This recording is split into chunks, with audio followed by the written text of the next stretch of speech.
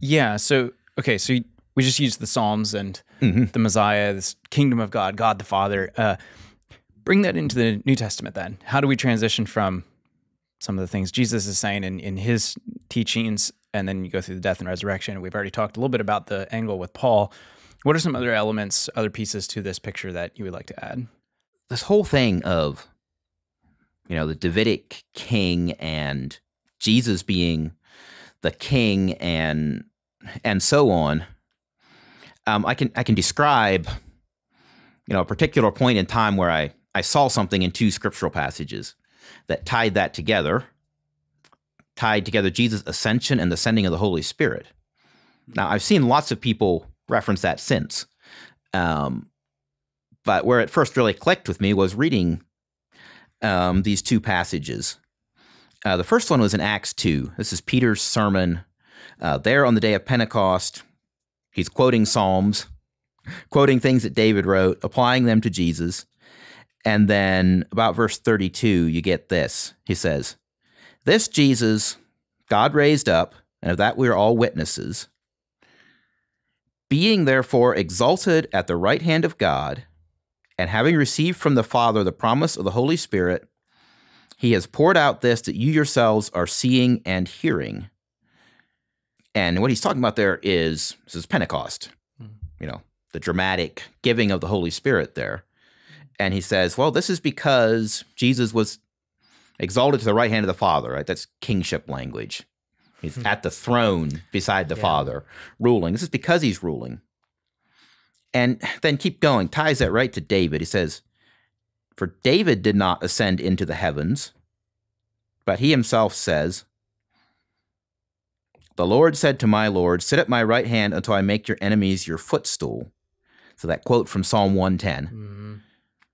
And Peter continues, Let all the house of Israel therefore know for certain that God has made him both Lord and Messiah, this Jesus whom you crucified. And so it ties it to, it, it treats the ascension as ascending to the throne and saying that's actually why the Holy Spirit can be poured out because Jesus Ooh. is there. Yeah, yeah. Okay, so that again, that's another angle. I don't know if I've heard very much. Uh, so the Psalms was one, and tying it into the line of David, but also you're tying in the Holy Spirit, Pentecost, and so forth as part of this kingdom of God package. Right. Package, I guess that's the right word. I mean, it kind of comes with the territory, so to speak. Is is a way of saying it? I guess you could you could say. Yeah, so I was, you know, looking at that. I latched onto that in Acts. Mhm. And then Ephesians 4 takes that same theme, uh, verse 7, that grace or a gift was given to each one of us according to the measure of Messiah's gift.